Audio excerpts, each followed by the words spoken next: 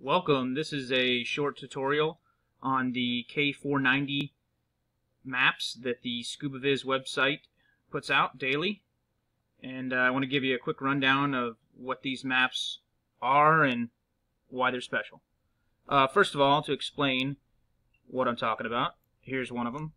This is a custom map produced by scubaviz.us server, and it has natural reefs, artificial reefs, depth lines, and the uh, K490 NOAA value.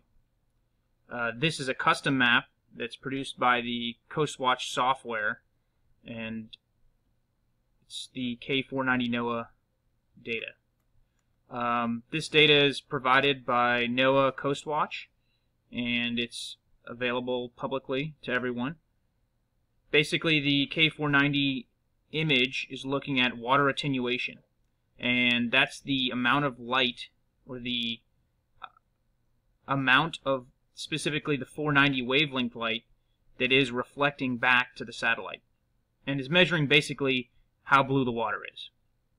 To understand why that has relevance to diver visibility or water clarity in general, uh, let me give you a little explanation. Uh, first of all, you have to understand that seawater absorbs different wavelengths at different rates. Your reds get absorbed first, and then your greens and blue are later. Uh, blue light makes it all the way down to almost 200 meters. That's why they measure blue, because it's going the deepest, it can penetrate the most. So if your water looks more blue, then the light is penetrating further, and thus it's more clear. So here's another look at that. Goes through all the different wavelengths and why they're looking at this specific wavelength for water clarity, water visibility. This right here, this region, the upper 400s of the wavelengths, is the blue or the blues, and it penetrates all the way down almost 250 some meters. The greens and the purples are next, and of course the reds and oranges are the least. Those those you lose pretty quick. So anyway, these uh, the maps that we're looking at is just a measurement of the amount of light at that specific wavelength. So that's all it is. It's just a numerical value at each one of these one kilometer points, pixels, and it measures the value and, and displays it on this heat map. Now this heat map is an important feature to mention because defaultly on their website, this is what you get. So this is done of a range of 6 to a 0.02. So that's the range this heat map is looking at. My maps that scubaviz.viz server puts out are looking at a range of only 0.3 to 0.01. So it's a much less range, and there's a reason for that, and I'll get to that in a minute. Uh, but back to the light penetration to help explain that a little better.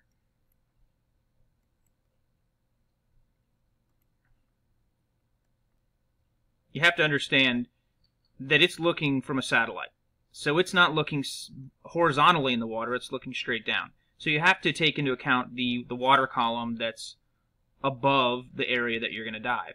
Now, something that happens often in our area is this little strip here of uh, basically uh, a higher value.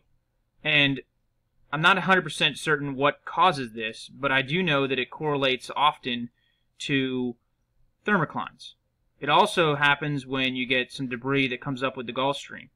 Uh, but it sometimes looks differently. The, the one that's typically related to the thermocline follows this drop-off point. So there's specifically this depth has some correlation to why this value is changing. Uh, here's my theory. With a thermocline, the light's penetrating down, and in those particular areas, the water is so clear in the first hundred and so or so meters that it's actually picking up the dirtier water on the bottom.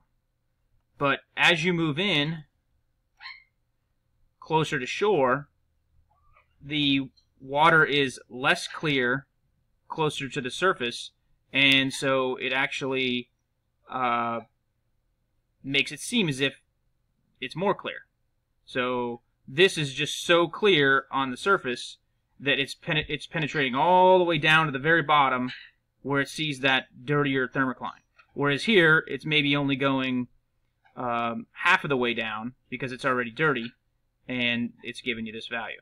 So that's my theory as to why we're getting that. I'm not 100% sure, but I do know this little strip does relate to thermoclines.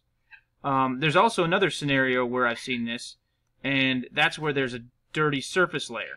So, like in this picture, here's the bottom. It could be clear on the very bottom, or less dirty on the bottom, but then you have a dirty surface layer. And that sometimes happens when there's um,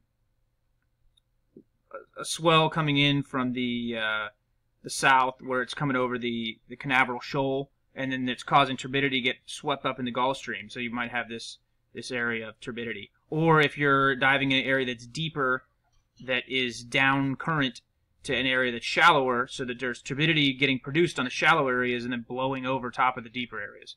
So that's where you'd see this. This situation is more where you get the green water on the bottom and the light's penetrating down and seeing the green water on the bottom. So that's some minor details that might make a big difference if you're diving out here in these deeper waters. Um, typically, we'll see this in the summer, we, the summer thermocline that comes in.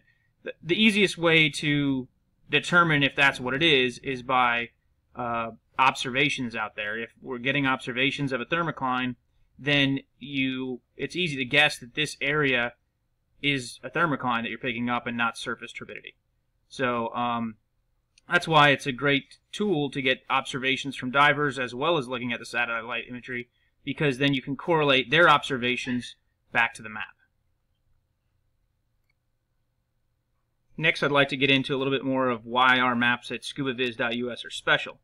Uh, this is a map that's publicly available on NOAA's website and every anybody can get to it. It's on the uh, the, the coastwatch.noaa.gov or eastcoast.coastwatch.noaa.gov. If you zoom in 500%, that's the most detail you're going to get for the Volusia coastline. Doesn't tell you a lot. And it's really difficult to even tell where the inlet is. So what I do is I use a tool that's available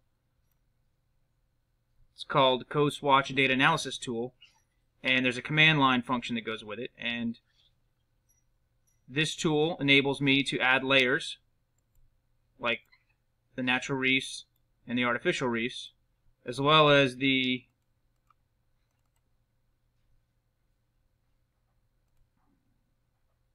land values that go with it. So there's the inlet, and so that definitely helps our divers and our observers of this map figure out where they are. But still, as you can see, this particular image, it doesn't have any detail. So part of what I have to do is, like we were doing on the before, is to adjust these margins, these values, to where the range is minimal. And there you go. So that's where our custom maps at scubaviz.us come in handy is because we're looking at a limited range because anything above a 0.3 is going to be blacked out anyway, so it's irrelevant. And anything below a 0.01, the visibility is going to be so good, it's irrelevant. So we're only looking at the area of, the, only looking at the values that really make a difference. And, and, that's why we use this value, and that's, that's why this map is custom and uh, produced in this fashion. So, um, it's published, put out on our website, looks like this. And uh, this little red speckles, these are clouds and some errors that the computer system at NOAA uh, incorrectly converted the clouds. So that's what you see when you see these little speckles. It's not actually dirty water. That's probably a cloud there as well. So um, with this information, if you look at it and you get an observation, say on site 3, that visibility is 20 feet, well then then you can presume that visibility maybe on site 1 is likely close to 20 feet because they have, or was, because this is historical, the day before. Um, the unfortunate thing is this is a day late and the visibility can change rapidly. But you can always look at the forecast and see if there's any major changes in the current or waves. And if there's not, then there's a high probability that the visibility is going to be similar than it was the day before. So I hope this set gives everybody some better understanding of what these maps are used for and um, let me know what you think.